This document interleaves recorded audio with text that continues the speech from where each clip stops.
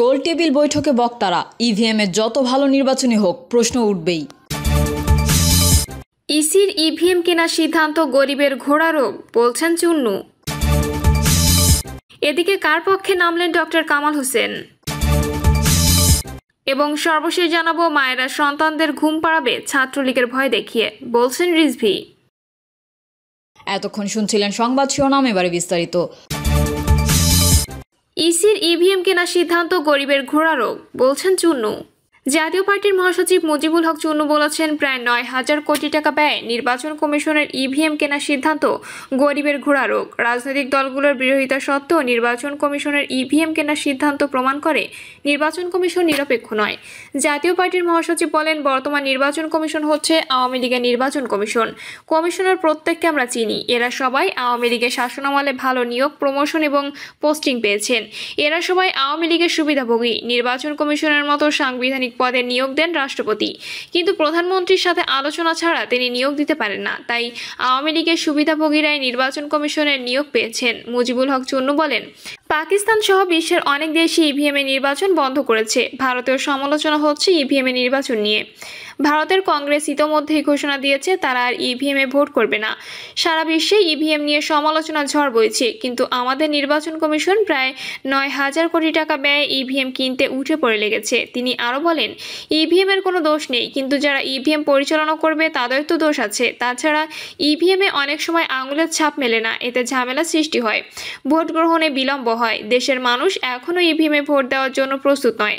তাছাড়া দেশের মানুষ মনে করে ইভিএম হচ্ছে নীরবে ভোট কারচুপির মেশিন। নির্বাচন কমিশনের আচরণ নিরপেক্ষ নয় বলে মন্তব্য করেন জাতীয় পার্টির মহাসচিব। তিনি বলেন, সকল রাজনৈতিক দলগুলোর মতামত নেওয়া হলো। শুধু শাসক দল, শুধু ইভিএমে ভোট নেওয়ার পক্ষে কথা বলেছে। সরকারের শরিক কিছু দল বিভিন্ন শর্ত আরোপ করে ইভিএম চেয়েছে। আর দেশের বেশিরভাগ রাজনৈতিক দল ও সুশীল সমাজ ইভিএমে ভোট গ্রহণের বিপক্ষে মতামত দিয়েছে। যদি রাজনৈতিক দল ও সুশীল সমাজের মতামতের গুরুত্ব না থাকে, তাহলে কেন আমাদের সাথে দফায় দফায় বৈঠক করলেন? নির্বাচন কমিশনের আচরণ প্রমাণ করে তারা নিরপেক্ষ নয়। গোল টেবিল বৈঠকে বক্তারা ইভিএম ইভিএমে যত ভালো নির্বাচনই হোক, প্রশ্ন উঠবেই। ইলেকট্রনিক ভোটিং মেশিনে ভোট দিতে অনেকের সমস্যা হতে পারে, সময়ও লাগতে পারে। এটি ভোটারদের জন্য বড় অন্তরায় বলে মনে করছেন বিশেষজ্ঞরা। তারা বলেছেন, ফিঙ্গারপ্রিন্ট নিয়ে বিমানবন্দরও সমস্যায় পড়তে হয়। ভারতেও ভিডিপ্যাটের বিষয়টি সুপ্রিম কোর্ট পর্যন্ত গড়িয়েছে। এখন ভোটারদের আস্থা না থাকলে ইভিএমের যত ভালো নির্বাচনী হোক, তা নিয়ে প্রশ্ন উঠবে। এজন্য আস্থা ফেরানোর জন্য সবচেয়ে বেশি গুরুত্বারোপ করেন তারা। তবে বর্তমান অর্থনৈতিক মন্দার মধ্যে হাজার কোটি টাকা দিয়ে ইভিএম কেনার তোড়জোড় নিয়েও প্রশ্ন তুলেছেন বৈঠকে অংশ নেওয়া একজন নির্বাচন পর্যবেক্ষক। এছাড়া ইভিএম মেশিন ভোট কার কারসাজির সুযোগ নেই বলে উল্লেখ করেছেন কেউ কেউ। তিনি বলেন সব কিছু নিয়ে পক্ষে বিপক্ষে বিতর্ক হয়, তবে ইভিএম নিয়ে কমন গ্রাউন্ডে আলোচনা হতে পারে। সঠিক বেঠিকের বিষয় নয়, এর কতটা ইতিবাচক ও নেতিবাচক দিক আছে তা নিয়ে আলোচনা করা যেতে পারে। এক্ষেত্রে অংশগ্রহণমূলক নির্বাচনের দিকে না গিয়ে ইভিএমে ভোটগ্রহণ কতটা যুক্তিযুক্ত সেটা আলোচনার বিষয়। সাবেক নির্বাচন commissioner, brigadier general doctor M Sakhawat Hossain বলেন, ফিঙ্গারপ্রিন্ট নিয়ে বিমানবন্দরও সমস্যা পড়তে হয়। ভারতেও ভিভিপ্যাটের বিষয়টি সুপ্রিম কোর্ট পর্যন্ত গড়িয়েছে। এখন ভোটারদের আস্থা না থাকলে ইভিএম যত ভালো নির্বাচনী হোক তা নিয়ে প্রশ্ন উঠবে। আলোচনায় অংশ নিয়ে শিক্ষাবিদ, লেখক ও প্রযুক্তি অধ্যাপক ডক্টর মোহাম্মদ জাফর ইকবাল বলেন, আমি ইভিএমের বিভিন্ন অংশ দেখতে খুলে রাখতে বলেছিলাম। আমাকে যে মেশিনটি দেখানো হয়েছে, তার হার্ডওয়্যার থেকে শুরু করে সব কিছু আমি দেখেছি। তারা খুব সুন্দরভাবে এটি করেছেন। কেবল সহ সব কিছু স্পেশালি কাস্টমাইজ করে তৈরি করা। অন্য কোনো যন্ত্রাংশ বা ডিভাইসেতে যুক্ত করার সুযোগ নেই। এজন্য তাদের কংগ্রাচুলেট করতে চাই। বুয়েটের উপ উপাচার্য অধ্যাপক ডক্টর আব্দুল জব্বার খান বলেন, ইভিএমের সবচেয়ে বড় সুবিধা হলো সব কিছু লকড তারপরও কথা রয়েছে। এই মেশিন সম্পর্কে পর্যাপ্ত প্রশিক্ষণ দেওয়া হচ্ছে না। এটাও এর কারণ হতে পারে। এটি মাঠ পর্যায়ের মানুষের কাছে নিয়ে যেতে হবে। সুশাসনের জন্য নাগরিকের কেন্দ্রীয় সমন্বয়কারী দিলীপ কুমার সরকার বলেন, অংশগ্রহণমূলক নির্বাচন তখনই হবে যখন অংশগ্রহণকারীদের মধ্যে নির্বাচন সুষ্ঠু হওয়ার আস্থা থাকবে।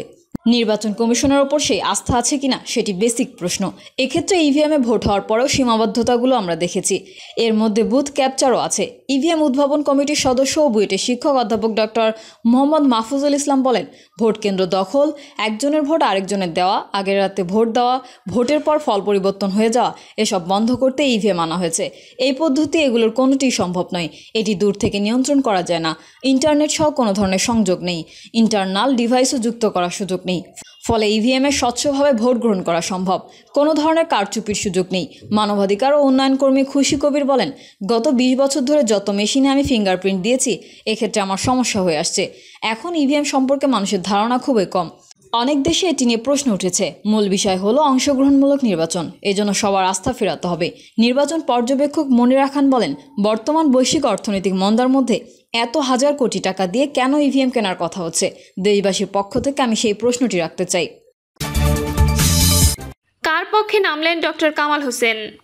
জাতীয় সংসদ নির্বাচনকে কেন্দ্র করে রাজনীতিতে যখন বিভিন্ন জোট গঠনের কথা শোনা যাচ্ছে, তখন হঠাৎই একশো এক সদস্যের কমিটি নিয়ে হাজির হলেন ডক্টর কামাল হোসেন। দীর্ঘদিন পর্দার আড়ালে থাকা ডক্টর কামালের আকস্মিক আগমন রাজনৈতিক অঙ্গনে বেশ চাঞ্চল্যকর সৃষ্টি করেছে। রাজনৈতিক সচেতন মানুষের মধ্যে ডক্টর কামালকে নিয়ে এক ধরনের জিজ্ঞাসা তৈরি হয়েছে।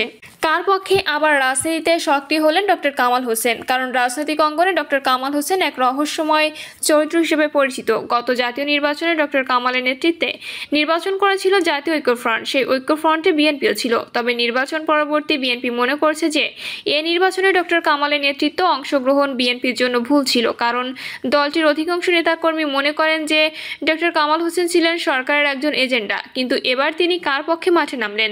দীর্ঘদিন আড়ালে থাকা ডক্টর কামাল হোসেনের রাজনীতিতে আবার সক্রিয় হওয়া নিয়ে মিশ্র প্রতিক্রিয়া লক্ষ্য করা গেছে। ডক্টর কামালের সক্রিয় হওয়া নিয়ে বিভিন্ন মহল বিভিন্নভাবে দেখছে। কোনো কোনো মহল মনে করছেন যে ডক্টর কামাল হোসেন কোনো একটি বিশেষ পক্ষের হয়ে আবার রাজনীতির মাঠে নেমেছেন। আর এক্ষেত্রে সবচেয়ে বেশি আলোচিত হচ্ছে ডক্টর ইউনুসের নাম। এর কারণ হলো বর্তমান রাজনীতিতে তৃতীয় পক্ষের উত্থানের বিষয়টি নিয়ে নানা রকম আলোচনা হচ্ছে। ডক্টর কামাল যদি ডক্টর ইউনুসের হয়ে মাঠে নামেন, তাতে অবাক হওয়ার মতো কিছু ঘটবে না।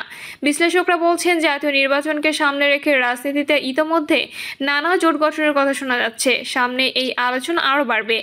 এদিকে বসে নেই সুশীল সমাজও। ওয়ান ইলেভেনের মতো এবার কিছু একটা হওয়ার আশঙ্কা করছেন বিশ্লেষকরা।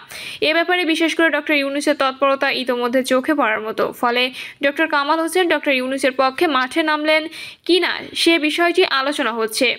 সাম্প্রতিককালে বাংলাদেশে মার্কিন রাষ্ট্রদূত পিটার ডি হাসের তৎপরতা বেড়েছে। নির্বাচন কমিশন থেকে শুরু করে দুদক পর্যন্ত তার পদচরণ লক্ষ্য করে যাচ্ছে। আর এ সমস্ত ডক্টর ইউনুসের কলকাঠিতে হচ্ছে বলে ধারণা করা হচ্ছে। নানা কারণে ডক্টর ইউনুস এখন চাপের মুখে রয়েছে। আর এই চাপ তিনি সামাল দিচ্ছেন পশ্চিমাদের ধর্ণা দিয়ে। ফলে এখন পশ্চিমাদের চাপের মুখে পড়েছে সরকার। আর এই চাপকে কাজে লাগাতে চায় ডক্টর ইউনুস। ডক্টর ইউনুস দেশে আরেকবার ওয়ান ইলেভেনের সরকার প্রতিষ্ঠা করতে চায় বলে রাজনৈতিক অঙ্গনে আলোচনা হচ্ছে। সেই আলোচনার ফলপ্রসূ ডক্টর কামাল হোসেন কিনা, সেইটাই এখন দেখার বিষয়। মায়েরা সন্তানদের ঘুম পাড়াবে ছাত্রলীগের ভয় দেখিয়ে, বলছেন রিজভি। পাড়া মহল্লা ও গ্রামগঞ্জ থেকে শুরু করে জাতীয় পর্যায় পর্যন্ত ছাত্রলীগ মানেই মূর্তিমান আতঙ্কের নাম বলে মন্তব্য করেছেন বিএনপি সিনিয়র যুগ্ম মহাসচিব রুহুল কবির রিজভি। তিনি বলেছেন, এখন মায়েরা তার সন্তানকে ঘুম পাড়াবে, ছাত্রলীগের ভয় দেখিয়ে বলবে, বাবা, ঘুমিয়ে যাও, না হয় ছাত্রলীগ আসবে। রিজভি বলেন, আওয়ামী লীগ সাধারণ সম্পাদক ওবায়দুল কাদের বলেছেন, আমরা কোনো নির্দেশনা দিইনি সমাবেশে হামলা করার জন্য, তার এই কথাতেই প্রমাণিত হয়। ওবায়দুল কাদের সাহেবরাই নির্দেশ দিয়েছেন হামলা করার জন্য, না হলে একটা ছাত্রের হাতে চাইনিজ কুড়াল থাকবে কেন? রামদা থাকবে কেন? বিএনপির এই নেতা বলেন, উপজেলা ছাত্রলীগ নেতা চাইনিজ কুড়াল দিয়ে বিএনপি ও ছাত্রদলের যেসব নেতাকর্মী মশাল মিছিল করেছে, তাদের বাড়িতে বাড়িতে গিয়ে হামলা করেছে। রূপগঞ্জ উপজেলা ছাত্রদলের সহসভাপতি মাসুদকে না পেয়ে তার বৃদ্ধ বাবা মাকে এমন কঠিনভাবে প্রহার করা হয়েছে। তারা এখন মৃত্যুর সঙ্গে লড়ছেন হাসপাতালে। এছাড়া বিএনপি নেতাকর্মীদের ব্যবসা প্রতিষ্ঠানে লুটপাট করেছে ছাত্রলীগ, যুবলীগ, যা দেশের প্রথম সারির গণমাধ্যমে এসেছে। দর্শক, এই ছিল এখনকার সর্বশেষ সংবাদ। আপডেট সব সংবাদ পেতে চ্যানেলটি সাবস্ক্রাইব করে বেল আইকনটি ক্লিক করে রাখুন।